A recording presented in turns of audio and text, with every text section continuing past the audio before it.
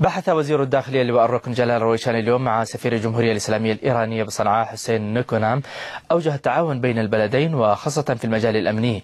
وفي اللقاء نوه الرويشان بالعلاقات الثنائية بين اليمن وإيران لافتا إلى أهمية تضافر الجهود بين البلدين في مكافحة الإرهاب والمخدرات. من جانبه أكد سفير إيران بصنعاء حرص بلاده على وحدة اليمن وأمنه واستقراره.